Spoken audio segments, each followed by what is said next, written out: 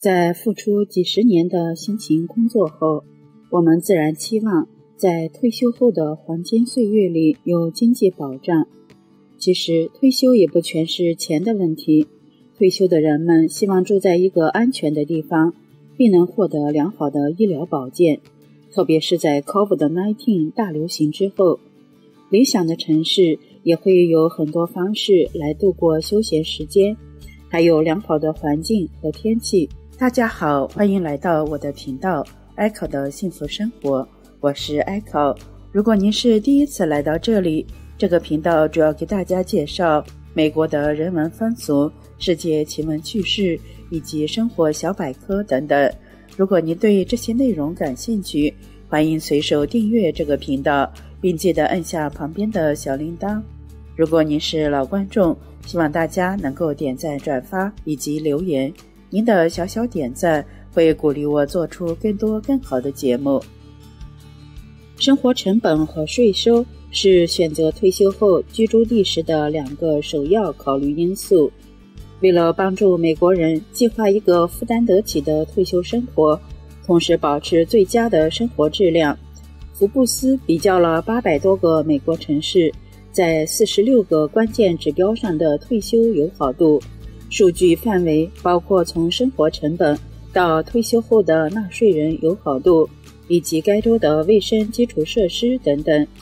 接下来，我们就来看具体的二十五个最适合退休的城市。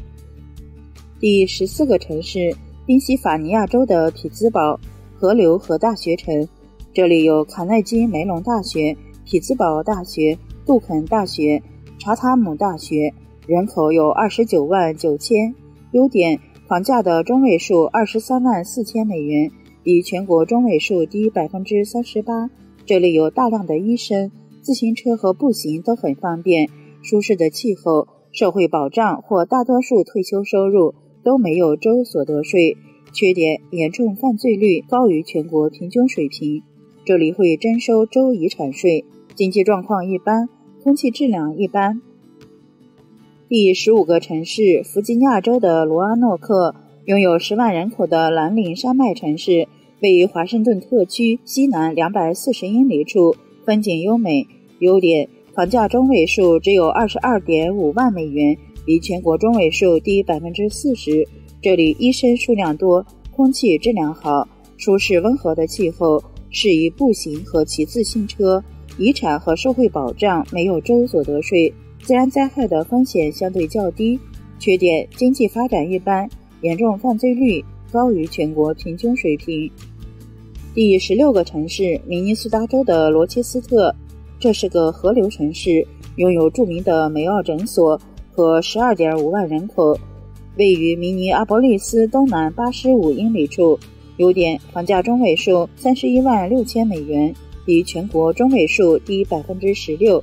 这里有极高的人均医生比例，空气质量好，严重犯罪率低，非常适合骑自行车。经济发展强劲，自然灾害风险相对较低。缺点：这里冬季寒冷，不太适合步行。社会保障福利会征收所得税，也会征收州遗产税。第十八个城市，德克萨斯州的圣安东尼奥，德克萨斯州南部充满活力的城市，拥有一百六十万人口。是全国第七大人口城市。优点：房屋价格中位数二十八点七万美元，比全国中位数低百分之二十四。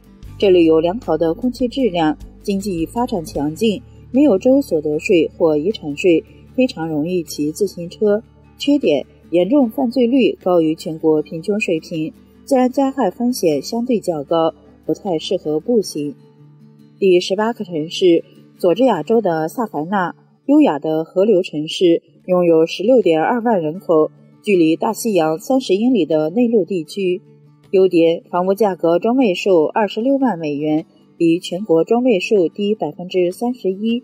空气质量好，气候舒适，很适合骑自行车。经济状况良好，社会保险福利和每人高达六万五千美元的其他退休收入会免征州所得税，没有州遗产税。自然灾害风险相对较小，缺点严重犯罪率略高于全国平均水平。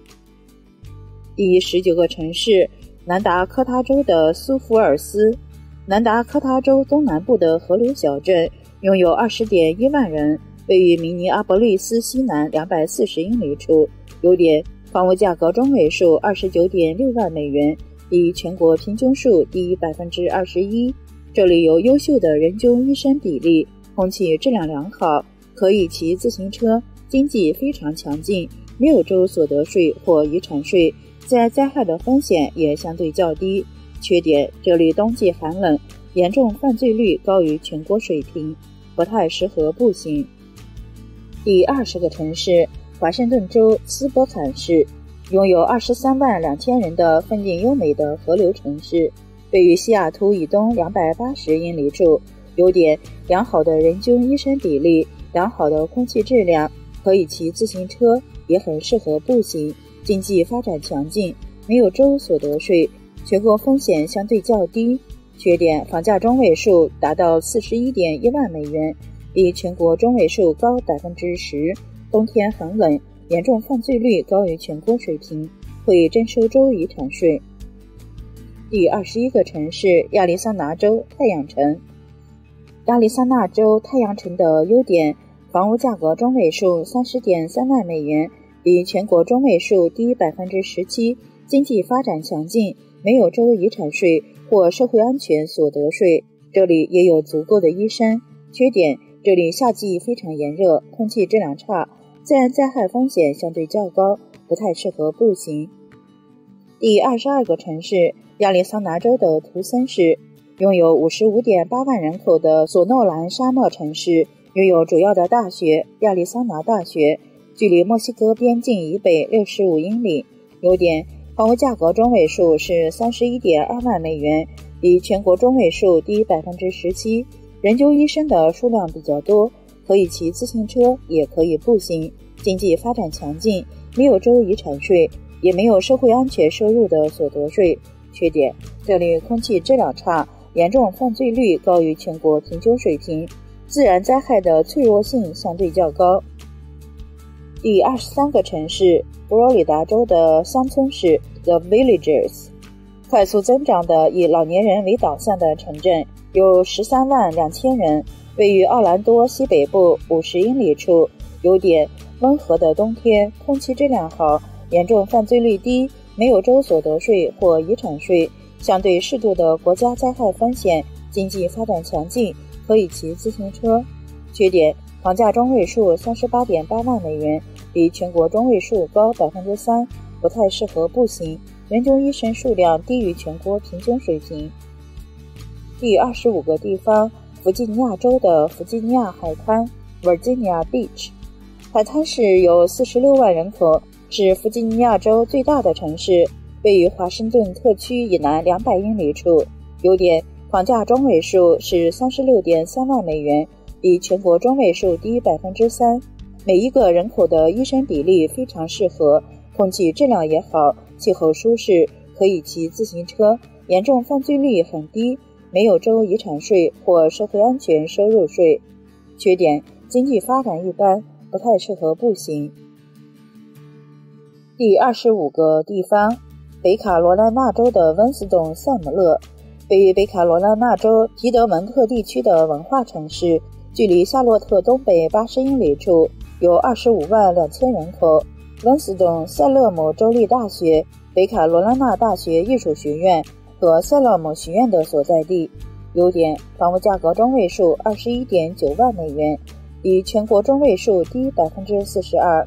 人均医生比例较高，舒适的气候，良好的空气质量，经济状况也非常良好，没有州遗产税或社会安全所得税，对自然灾害的脆弱性相对较小。缺点：严重犯罪率高于全国平均水平，不太适合骑自行车。